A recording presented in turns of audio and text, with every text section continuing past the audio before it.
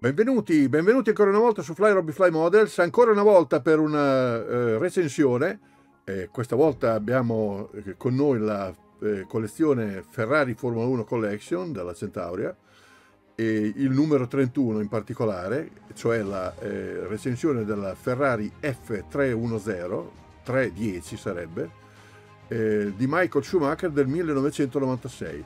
Come vedete ce l'ho qui davanti a me eh, ho già dato un'occhiata al package che è tutto a posto, quindi adesso non mi rimane altro che eh, eh, ricordarvi di mettere un like sotto questo video se vi piacerà, di iscrivervi al mio canale e di pigiare sulla campanella così avrete mia notizia ogni volta che farò una di queste cose e poi aprire la confezione ed andare a vedere eh, più chiaramente e più da vicino il tutto, fascicolo e modello. Bene, mi sono liberato della confezione, come vedete ho già posizionato il tutto in, eh, come al solito, il fascicolo a destra, il modello a sinistra, tolgo il modello ed andiamo ad analizzare rapidamente il fascicolo. E come vedete in copertina eh, c'è una bella foto del modello, questa non è la macchina vera naturalmente, e i dati del, dell'uscita li abbiamo già visti prima, andiamo in seconda pagina, mettiamo via il cartoncino della eh, Centauria che eh, questa volta non ha fatto pienamente il suo dovere perché il fascicolo è arrivato un pochino, un pochino strapazzato, ma vabbè, va bene lo stesso. In seconda pagina troviamo l'occhiello con il rimando alla, al mm, prossimo numero, che sarà la Ferrari 312 T3 di Carlos Reutemann, o Reutemann, eh, del 1978, anche questa è una macchina che non ha eh, vinto granché, ma era comunque una, gran bella macchina.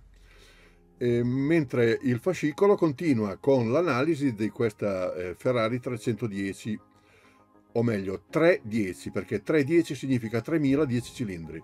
E qui sta una delle chiavi della, novità di questa macchina, cioè la Ferrari in questo caso, eh, a questo punto, decise di abbandonare il classico motore 12 cilindri per puntare su un motore 10 cilindri progettato dall'ingegner Martinelli.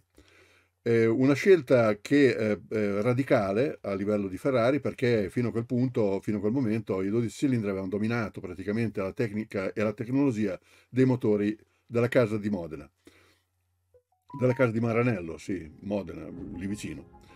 E, e anche eh, la prima macchina progettata dall'ingegner Barnard, eh, un famoso ingegnere dell'epoca che eh, aveva già operato alla Chaparral americana con la 2K eh, appunto famosa che ha vinto ripetutamente, vinse ripetutamente a Indianapolis e aveva anche operato alla McLaren facendo delle macchine vincenti. Purtroppo eh, con questa macchina qui, eh, nonostante le novità eh, tecniche, come per esempio i radiatori separati, eh, appunto la presa d'aria di un certo tipo fatta in un certo modo, poi vedremo nel modello. E purtroppo qui non, non, non riuscì bene a fare i, i, suoi conti e la macchina non fu così vincente, nonostante por- eh, nonostante questo Schumacher la portò alla vittoria tre volte eh, nel 1996. La prima al Gran Premio di Spagna, Gran Premio bagnato, vedete, alla quale si riferisce questa fotografia. Andiamo avanti, Ritroviamo ancora Schumacher al Gran Premio di Spagna mentre taglia il traguardo per primo, secondo Jean Alesi, e qui lo vediamo sempre in Spagna eh, per l'appunto mentre, si, si, eh, mentre duella eh, con un altro pilota eh, sulla pista allagata. Eh, qua invece abbiamo importante questa fotografia a destra perché vediamo lo sviluppo che fece la, la Barnard di questa macchina a metà, circa metà stagione dove eh, invece del muso basso eh, disegnò un muso alto con l'alettoncino, l'alettone anteriore appeso a due piloncini. E eh, praticamente questo è stato praticamente il, il, modo di disegnare le macchine da, da, quel momento in poi per alcuni anni per tutti. Ecco qua. Qui ritorniamo alla versione iniziale una macchina dalle linee anche abbastanza belle. Come vedete si notano perfettamente eh, i radiatori, le bocche dei radiatori separate dal, dal corpo principale della macchina, qui e qui, vedete, sono lì i due radiatori, e qua c'è una bella foto del motore 10 cilindri Ferrari, guardate che bello. Benissimo, il fascicolo si chiude con i dati tecnici, eh, la scheda tecnica di questa, di questa, bella macchina e praticamente vi do come al solito eh, un dato, un paio di dati che praticamente era un motore longitudinale V10 di 75 gradi, 700 cavalli a 16.000 giri al minuto. Ecco qua. Andiamo a vedere il modello.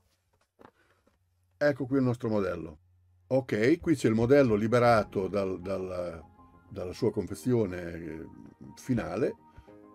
Qui lo, ve lo faccio vedere un, un pochino all'interno della, della, teca.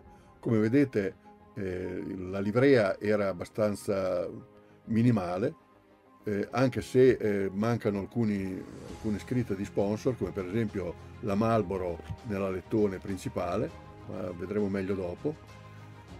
La, la macchina in pianta risultava eh, con le pance laterali spostate molto indietro, vedete? E praticamente la, l'aerodinamica era ehm, tutta molto particolare che sulle Ferrari a quel punto non era ancora stata utilizzata un'aerodinamica di questo tipo. Barnard aveva cercato di, di metterci tutto il suo sapere, ma purtroppo, come dicevo prima, non è bastato. Qui siamo nella sezione posteriore e qui siamo tornati nella parte sinistra del modello. Andiamo ad aprire il tutto, diamo un'occhiata alla teca che prenderà poi un voto. La teca non ha il puntino eh, centrale, quindi eh, secondo me merita il voto massimo. La mettiamo via, eccola qua. E andiamo a vedere il modello. Eccolo qui. Il modello, come dicevo, si presenta molto bene, ha eh, caratteristiche eh, molto particolari per quello che riguarda eh, le forme. Vi, vi faccio notare un attimo che prendo il laser, vi faccio notare l'alettone anteriore, vedete, che era a doppia ala, ora ve lo metto in posizione più agevole per vederlo, spero che vada a fuoco, eccolo lì, vedete, poi si vedono anche da questa posizione si vedono chiaramente le eh, sospensioni anteriori, qui ci sono i, i due braccetti eh, della sospensione push road, vedete, i due triangoli superiore e inferiore, e questa macchina, come potete notare, ha, non ha le slick, vedete, ma ha i, i pneumatici scolpiti. Questo significa che è l'esemplare, cioè, o meglio, il modello dell'esemplare che ha vinto eh, in Spagna, eh, appunto con Michael Schumacher. Andando dal muso verso il, il, l'abitacolo troviamo il numero di gara, tutti gli sponsor, Magneti, Marelli, lo scudetto Ferrari riportati perfettamente, ve li faccio vedere possibilmente, eccoli lì, li vedete? Poi c'è il, il eh, simbolo della Shell, la benzina che utilizzava la Ferrari in quel momento, il, l'adesivo della Marlboro, che però non ha, nulla, non ha scritto nulla perché non, per legge, come sapete, non, non, non si può fare pubblicità alle industrie del fumo, e poi l'abitacolo. L'abitacolo lo illuminiamo un pochino, vediamo se riusciamo a vedere all'interno.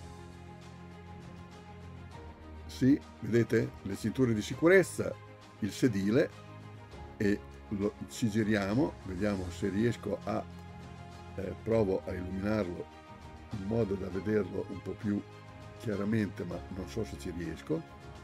Vediamo. Si vede bene anche il volante eh, che è stato il, il primo volante eh, con, con eh, caratteristiche moderne, cioè il, il, volante nel quale erano riportati tutti i comandi a, a, portata delle dita del pilota, come sono quelli moderni. Ecco qua.